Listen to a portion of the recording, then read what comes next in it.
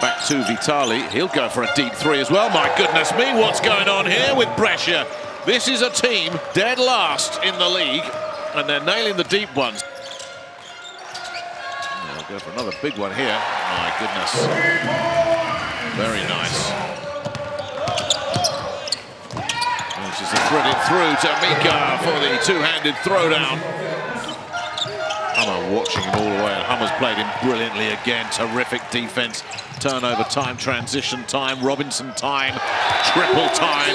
Oh, that was Monaco at their best. There's an air shot that comes in from Ouattara, so they really are off to a slow one here, Monaco. Now, oh, oh, oh, no, nothing slow about that. Well, that's what he does so early in Hummer.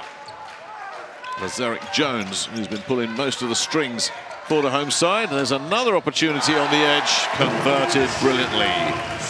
Jared Jones. Can Brescia keep up with the Joneses here at the business end of this game? If they can convert this, and Hamilton's going for three. Hamilton's dropped one in, and suddenly, out of nothing, a 10-point deficit has been cut in half. Goes low to Ouattara. Jones now sends it out to Robinson, who sends it back over to Ouattara, who nails a very important one. And Monaco back in business. It's here for the taking for them. A big, big upset on the cards.